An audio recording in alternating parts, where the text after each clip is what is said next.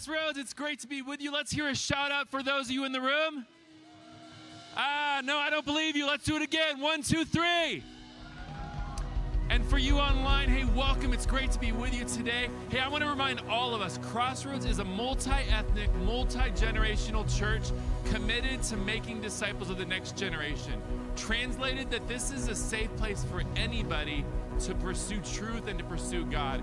And we're beginning a brand new series today called Does the Church Care? And a little spoiler alert Yes, it does because God cares for you, regardless of your backstory, regardless of where you come from that there's hope for all of us. Hey, if you're new to us, we'd love to connect with you. Uh, if you would like to take that step, you can text the word new to 720 513 1933.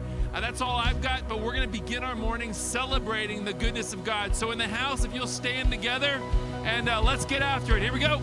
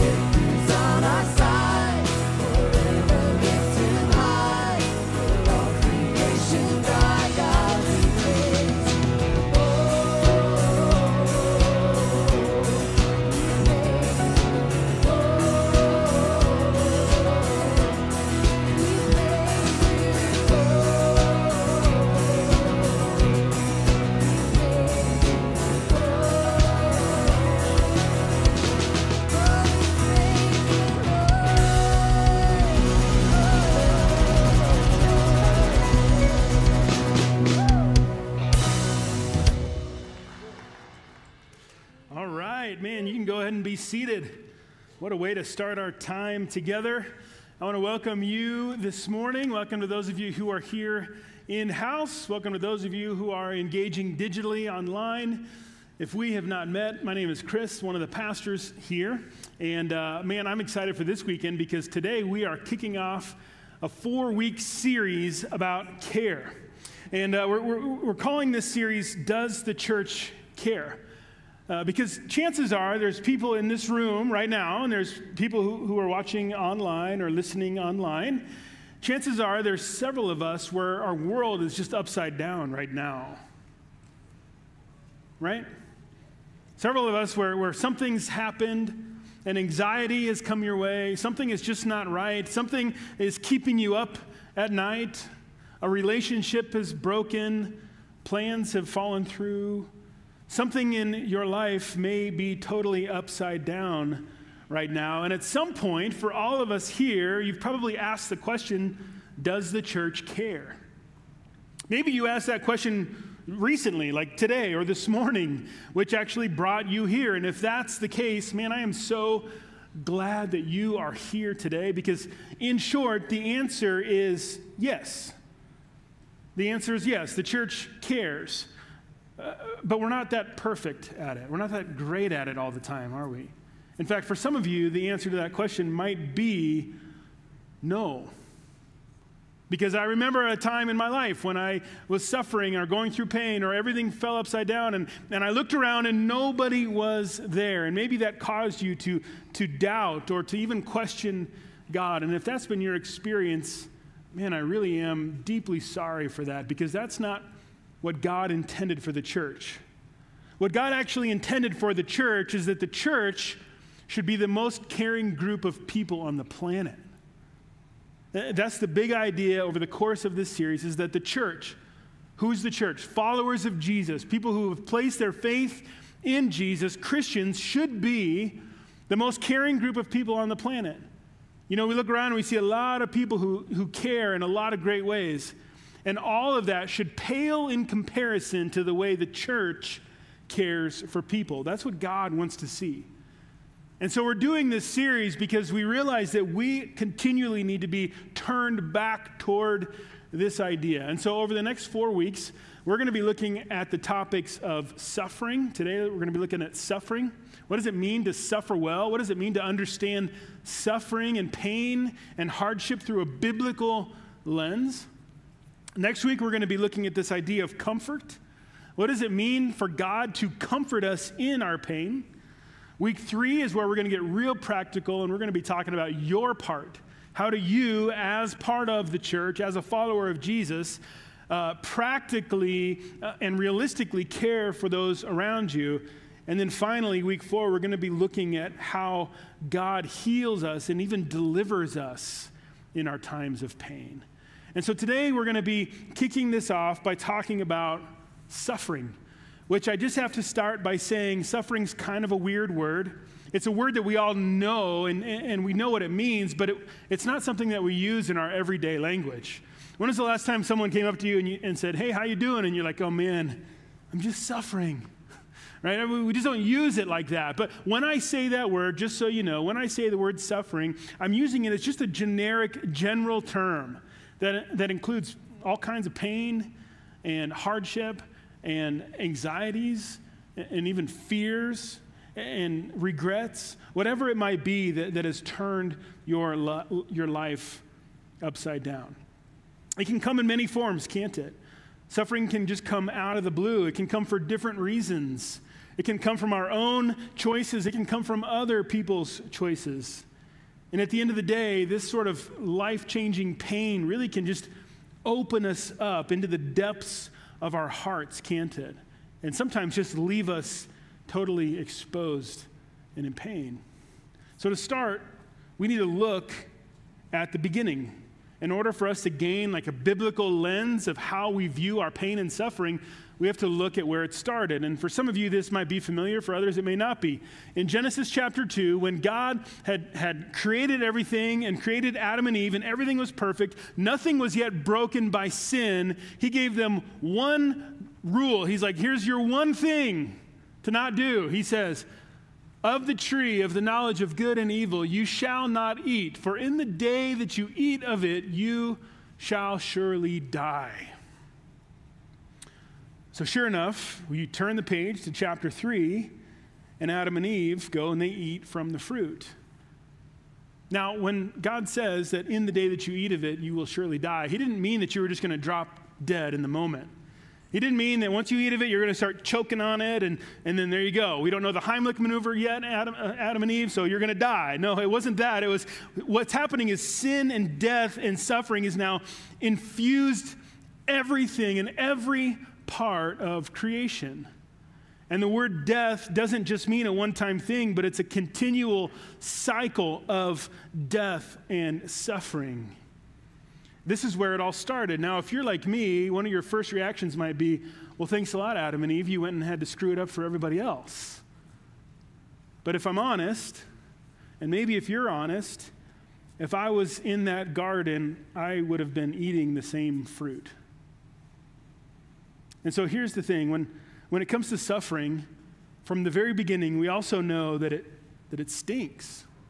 Nobody likes it, right? I mean, nobody in their right mind likes pain. Nobody likes suffering. Nobody likes going through seasons where life is upside down. And so, what we've done as a response or a reaction is we try to avoid it, don't we? We do everything in our power to try to avoid our pain and suffering. We do everything in our power to try to dull it or try to ignore it, whatever we can do. I mean, think about how much time and energy and money and resources and effort we spend in gaining the creature comforts of life. I mean, think about how much we try to avoid inconveniences, take shortcuts in order to shave off a little bit of time so that we don't suffer, right? I mean, this is from the beginning of time. But sometimes trying to avoid suffering and pain actually makes it worse. When I was a kid, I grew up in this area where there are a few different lakes nearby, and, and fishing has always been one of my favorite pastimes. And so uh, I was a teenager, and one spring day, I thought, I'm going to go over to these ponds, take my belly boat, which, if you're not sure what a belly boat is, it's just a fancy term for an inner tube with a cool seat in it and pockets all over to put all your fishing gear.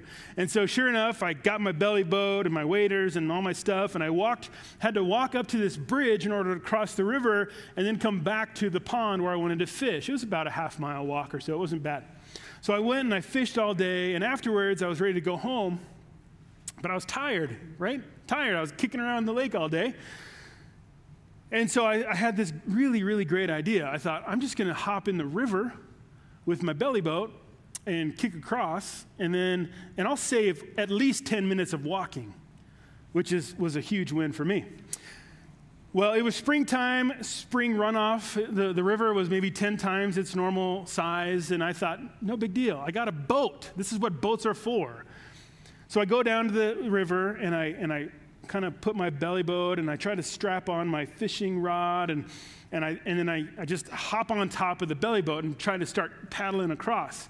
Well, I quickly realized that I was no match for the current and the white water and all of that. And sure enough, I went overboard and I, luckily, I grabbed my belly boat, right? Because I thought, man, I could die or worse, I could lose all of my fishing gear down the river.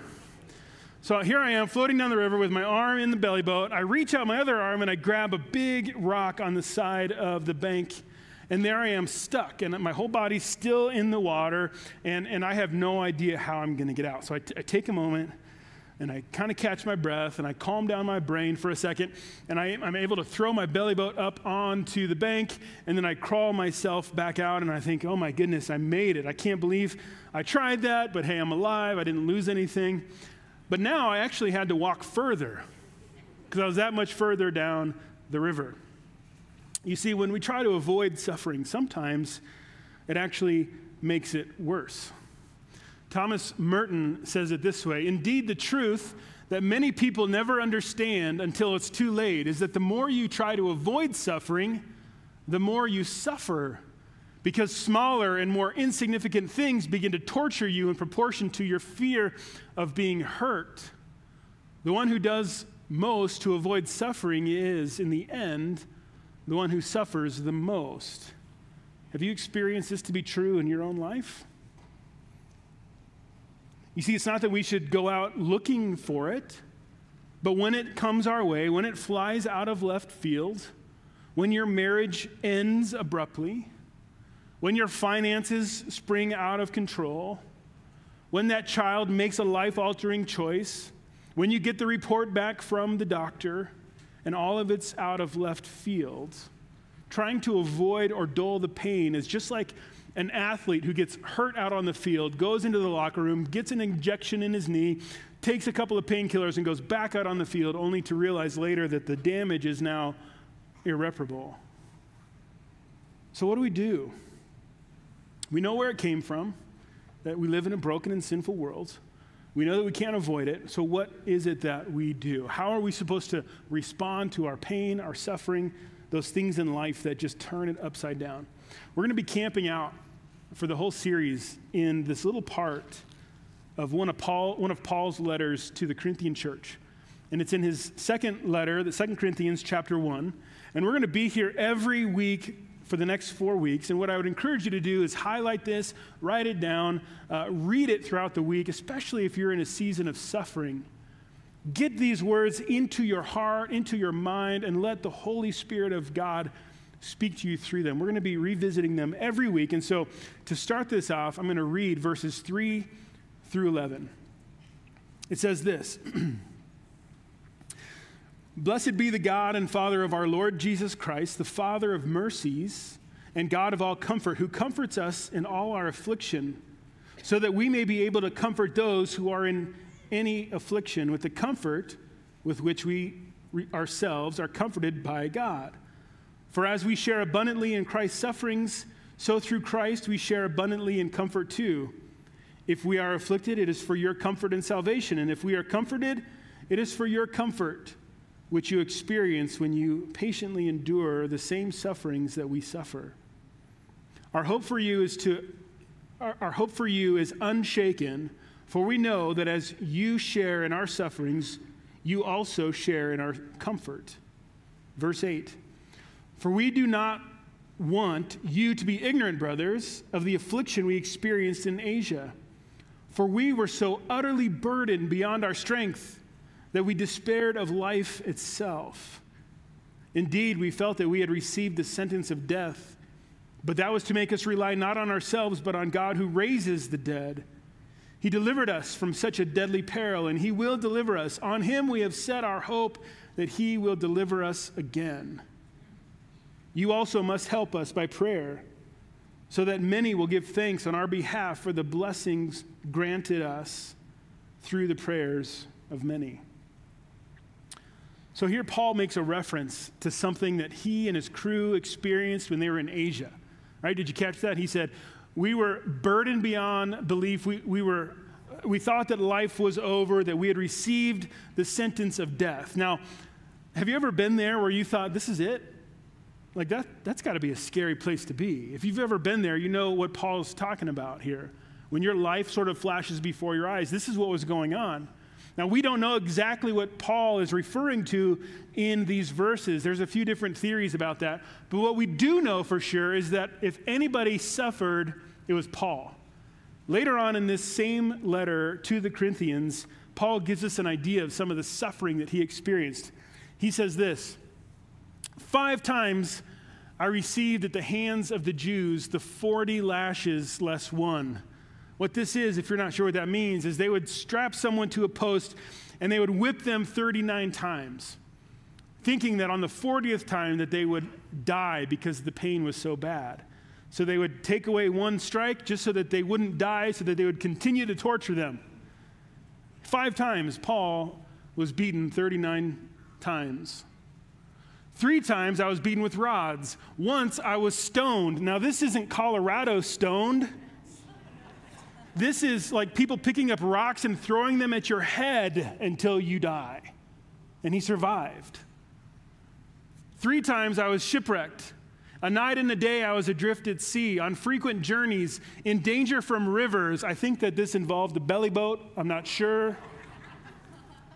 danger from robbers, danger from my own people, danger from Gentiles, danger in the city, danger in the wilderness, danger at sea, danger from false brothers in toil and hardship through many a sleepless night, in hunger and thirst, often without food, in cold and exposure.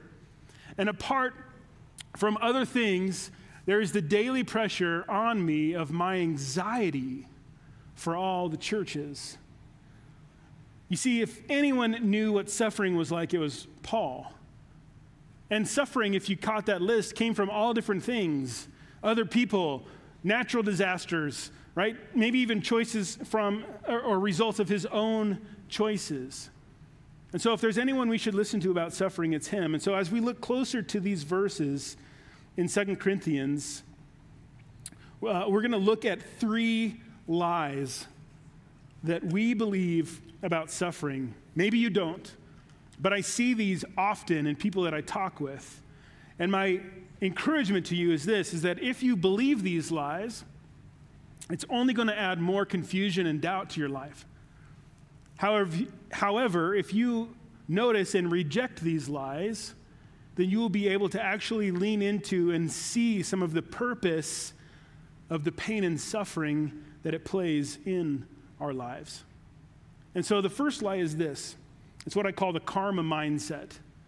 The karma mindset is that you get what you deserve. Now, this might be true. If I go driving down the highway down I 25 on a snowy night and I'm going 120 miles an hour, I might get something that I deserve, a direct result from my choice. I'm going to be suffering in some way from my actions. And let's say I do, I spin out and I end up in the hospital for a long time. Guess who was also suffering, but it wasn't their choice? My family, my friends, my church. You see, there's some consequences that are related to our own choices, and there's others that, that we have no control over. But here's the thing is if, if you have this mindset, this karma mindset that you get what you deserve, here's how that plays out.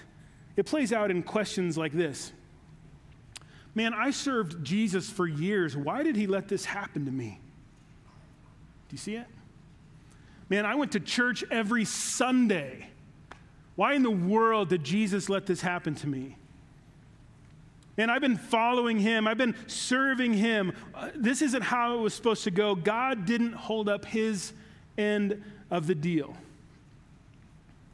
Or it can be the flip side of that same coin, and you could, you could live your life in fear, going, man, I cheated on my math test 20 years ago, and I knew that God was just waiting for that moment to get back at me, right? And then when something happens, we're like, oh, there it is. God is just this angry God waiting to, to push the button, the smite button. There it is. You see, this is how this lie begins to intertwine itself into our thinking. But when we look at Scripture, that's not how it works. Because Jesus actually promised us in John 16, he was talking to his disciples, he says, In this wor- world you will have trouble.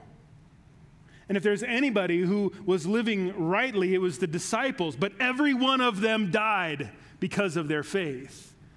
Most of them died painful deaths because of their faith. And it wasn't because they were doing anything wrong. I mean, these guys were the movers and the shakers in the world when it came to the church. They were the ones planting churches and going and, and preaching to thousands and thousands upon thousands coming to Christ. And they suffered and died because of it. You see, Jesus himself suffered and died. If anybody didn't deserve it, it was him. And so when you find this lie creeping up, when you begin to think, man, why did God allow this to happen? Because I've been serving him. He owes me more. I've earned something different. Da, da, da, Just remind yourself of the words that Jesus said that in this world you will have trouble. But then he goes on, but I have overcome the world. So don't buy into that lie. The second lie that I see often is this, is this lie that suffering is meaningless. That we treat it like we treat it when we get a bad cold or COVID or whatever, that we just got to hunker down and just wait until it's over. That when suffering, when pain, when issues come our way, that, that we take everything that we were planning on, all the things that God was up to, all the other stuff that we had our minds on, that we just put that all aside and it's like, okay, now I got to deal with this. And then when this is over, then I can finally get back to my real life, my routines, my goals, what God is doing, all that sort of stuff. It, it, we view it as a setback, that it's this meaningless hurdle in life and that we should just avoid it at all costs. But Paul, again, in another letter, says this about suffering in his letter to the Romans. He says this not only that, but we rejoice in our sufferings. What kind of crazy talk is this? Knowing that suffering produces what? Endurance. And endurance produces what? Real loud. And character produces what? And hope does not put us to shame because God's love has been poured into our hearts through the Holy Spirit who has been given to us. You see, my friends, when we see our suffering as just hurdles to get over, we actually miss out on something that God is wanting to do in us that it doesn't have to be meaningless. And because of what he's done, it, it isn't meaningless. That there's actually work that God is doing in us as he is forming us and, and shaping us that can only happen in seasons of pain. Judith Hougen, in her book Transformed into Fire, says it this way Our painful moments can become a crucible through which Christ in us is formed rather than evidence of a failed relationship with God, this speaks to the previous lie. Pain can deepen relationship by revealing God from new angles. Have you ever experienced that? Man, there's things about God we get to experience in our pain that we cannot experience in any other season of life. And I talk to people now and then who look back on incredibly challenging seasons and they're like, man, it was the hardest thing ever. And I didn't actually see anything about what God was doing in the moment. But looking back on that now, I can see what God was up to and I can see how He was using it for His glory and for my good. And man, the closeness that came as a result of that, the closeness that I have with, with God, I would never change it for the world. And it just blows my mind. You're telling me you wouldn't change what you went through because of the closeness with God? And they're like, yeah, wouldn't change it. You see, our pain invites us into new experiences with God. But in the moment, God feels absent, doesn't he? He feels absent. He feels like he's forgotten you. He feels like he's not doing anything, like he's not up to anything. And that's probably going to be the experience. But it's going to be something that you can look back on years from now and look back on and say, man, I can see how God was working. And so instead of us trying to avoid it, or trying to medicate it or trying to ignore our pain, what would it look like for us to lean into our pain? What would it look like for us to lean into it and go, God, what is it that you want us want me to know or to experience or what is it that you are wanting to do in me? One of the most meaningful ways to do this in a most productive way is to just simply talk with someone who is going to listen they're not going to judge you, they're not going to give you advice and try to fix you.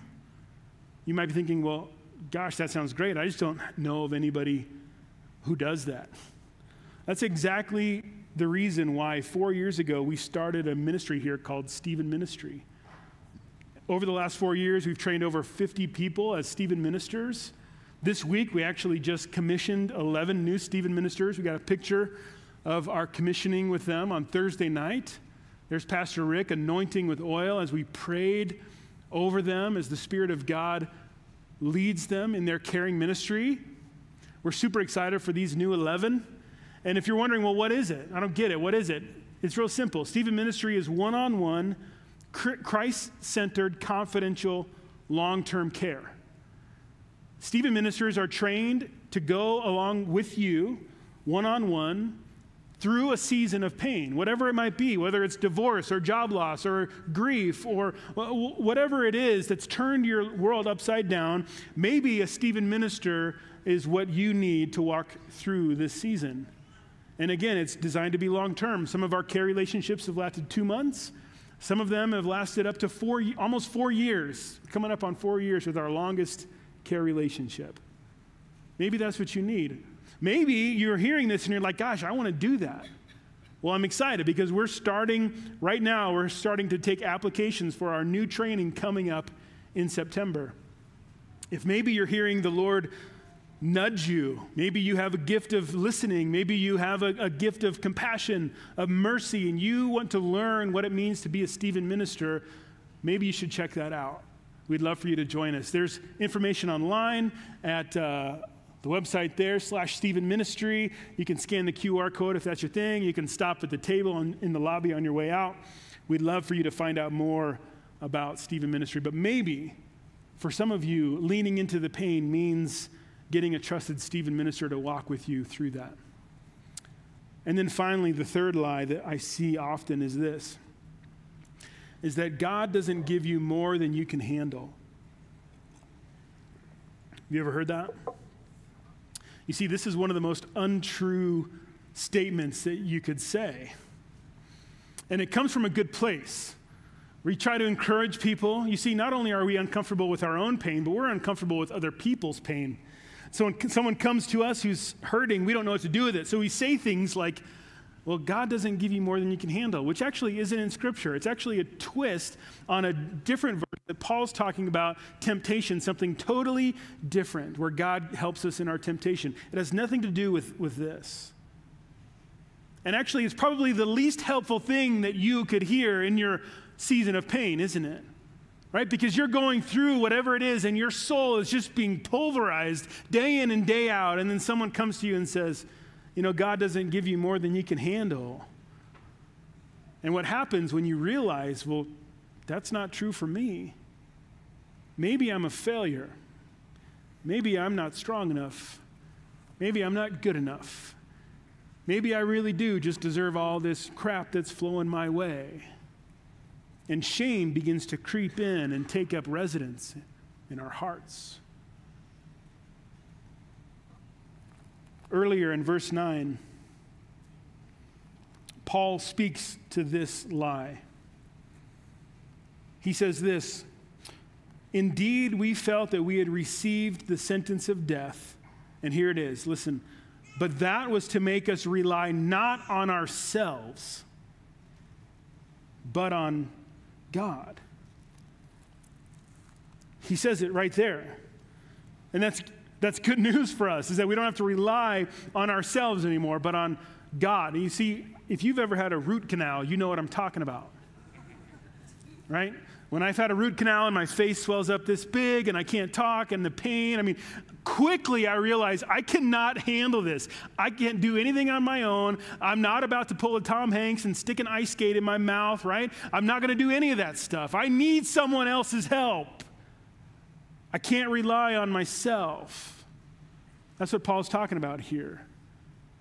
This idea that the pain and hardship that we're in, it's to remind us that we don't have to rely on ourselves, that we get to rely on God. That it's no longer about you having to be strong enough or good enough or together enough or whatever it is enough. And I hope that you, when you hear these words, for some of you, that this is a breath of fresh air, maybe even permission to not have it all together right now. You've been trying because you know, or you, you thought, you believed this lie, and you've been striving really hard. And I just want you to know that it's okay to not have it together. It's okay to not be able to rely on yourself because this is an invitation to rely on God. And again, sometimes that looks like trusting or talking with a trusted friend or Stephen minister or counselor or whatever that might be. Other times it's in the stillness and the quiet when it's just you and God, and God begins to whisper to your soul life giving words. And you begin to see your reliance and your trust in Him begin to strengthen. And when we're invited to trust and rely on God, it's not on just some wimpy God, but here it is again in verse 9, but on a God who raises the dead. I mean, who does this? Why in the world would we rely on ourselves when we can rely on a God who raises the dead? Why would I rely on anything that I can produce when the God whose part of his attributes is that he is a God who resurrects life? And we are invited into relying on him. And so here's the thing even if my suffering ends up killing me, guess what? My God raises the dead. Even if my suffering takes me out, my God raises the dead. But you know, it's not just something that happens in the future. It's not only something we get to look forward to, that one day those who are in Christ will be resurrected with Him, that we will be raised, given new bodies with Him, we will be raised from the dead. But guess what? It happens now, too. What are those parts of you that have died? What are those parts of your heart, your soul, your mind that have died? It died when your spouse died or your child died. It died when those dreams died. It died when the regret is just a huge mountain. What are those parts of you that have died? And perhaps God is inviting you into a new place where He wants to resurrect some of those areas of your life. So we know that suffering is unavoidable. We can't buy the lie of the karma mindset. We know that suffering can be meaningful, that He's working in us.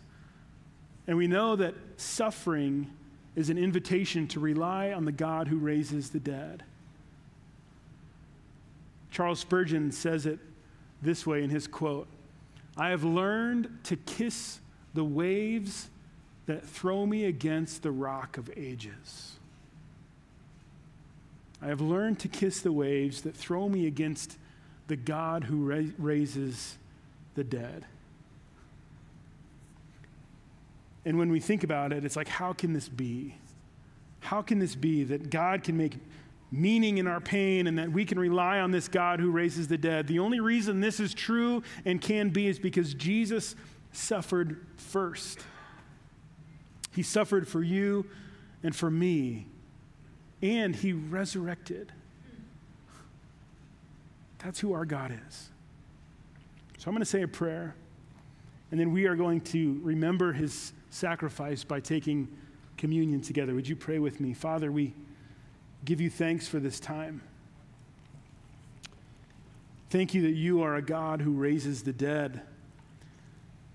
Thank you that you're not a, a God that just needs to be appeased that you're not a God that we have to tiptoe around, but that you are a God who resurrects new life. So, for those of us who are going through incredible pain right now, God, my prayer is that you would woo them deeper into your presence. God, that you would use it as a, as a way to form them more into the image of your Son. Father, we thank you. Thank you that you're with us in our pain. God, thank you that you empathize with our pain. Thank you that you will never, ever leave us in our pain. We trust you and we thank you. And it's in your name we pray. Amen. You know what? If you prayed that prayer for the first time, if maybe for the first time you've decided to rely on God, we'd love to walk with you in that. We'd love to talk with you about what that means. You can simply text the name Jesus to the number on, your, on the screen, and someone will be in touch with you about that. Every week, we take time to remember the sacrifice of Jesus because without this, everything else is, is meaningless. So, Jesus, because of you and because of me, because of his love for you and for me, his body was broken and his blood was poured out. Let's remember together. And the cup.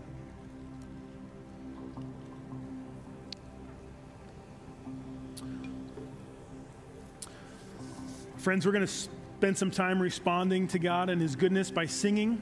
If you would like someone to pray with you, we'd love to do that. We have people who are designated to pray with you right now.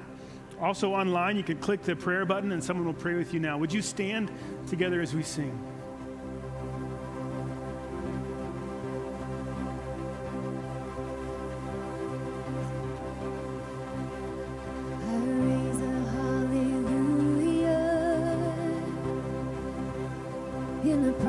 raise a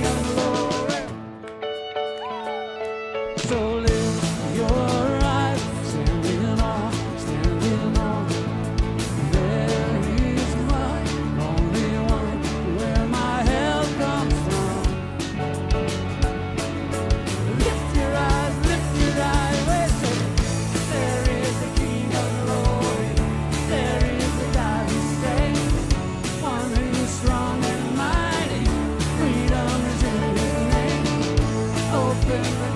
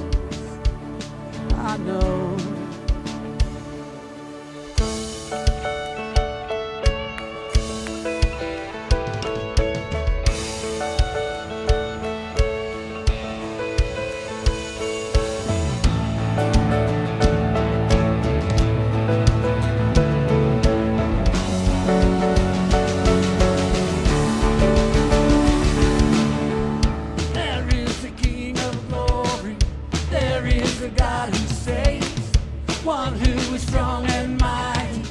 Freedom is in his name. Open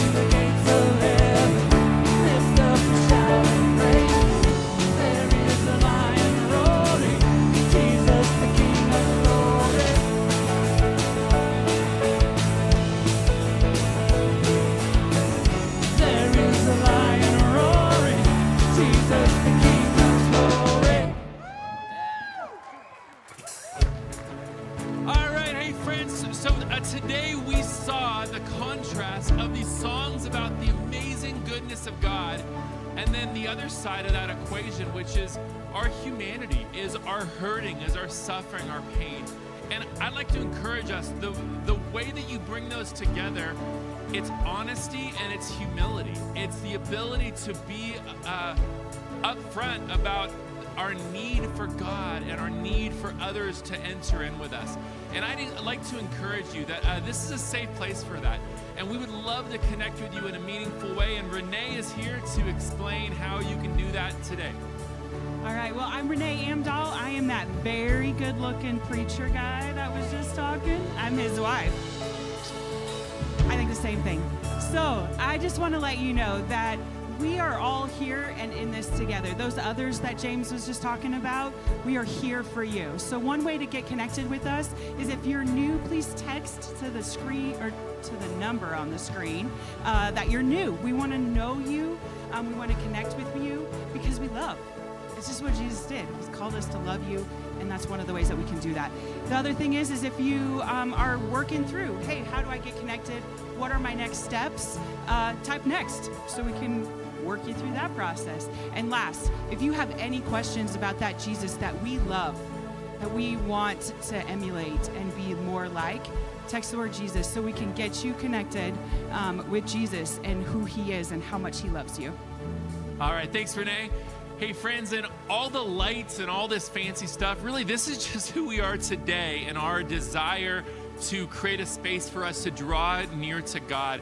Uh, throughout the week, uh, Crossroads is really a grassroots, kind of ground level uh, organization that we are broken people that serve broken people and lead them to health. So if you're a financial partner with Crossroads in that, we want to thank you for that. And if you would like to join with us in that, uh, we would love your participation uh, uh, with your time and energy and your resources. Uh, you can give online through the Crossroads website, through the Crossroads app, or if you're here in person, like you guys are, uh, you can do it on your way out.